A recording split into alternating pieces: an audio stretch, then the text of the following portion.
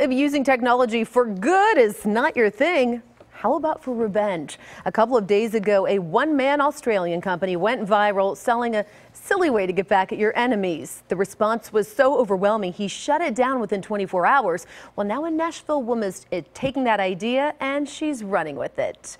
News Channel 5's Todd Walker has how her story unfolds new at 10. Well, if you've ever gotten a card or anything that had glitter on it, you know how obnoxious it is. So we're not doing a live demonstration because the studio crew would kill me. But apparently it's big business to glitter bomb your friends, loved ones, enemies, whoever. So of course, when someone folds the idea because it's too successful, someone else is going to grab it.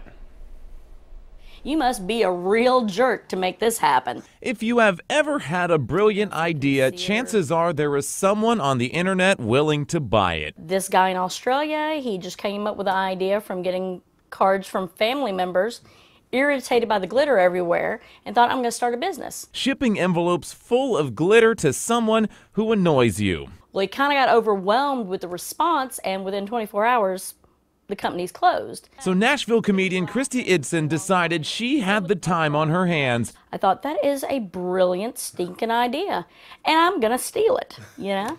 I didn't create the rainy day, I just got the best umbrella. And where shipyourenemiesglitter.com failed, Glitter Bomb Your Enemies hopes to pick up the shiny slack. This is this is my uh, workshop right here.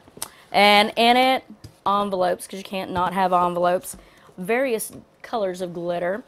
And since it's the holiday season coming up, you got to have your red and pink cards. So who's not going to open up a Valentine? Nobody.